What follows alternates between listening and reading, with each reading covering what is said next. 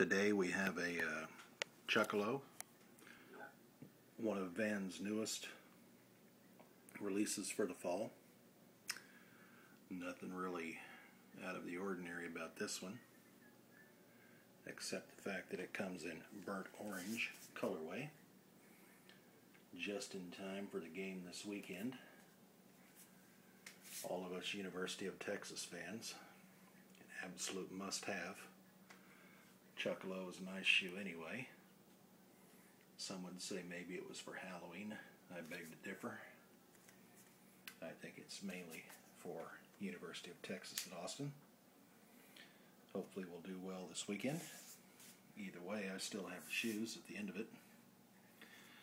Chukka Lows are a nice, comfortable shoe, inexpensive. Only question now, came with black strings and white strings. I've also got some orange ones. So what does everybody think I should put in it? Black, white, or orange?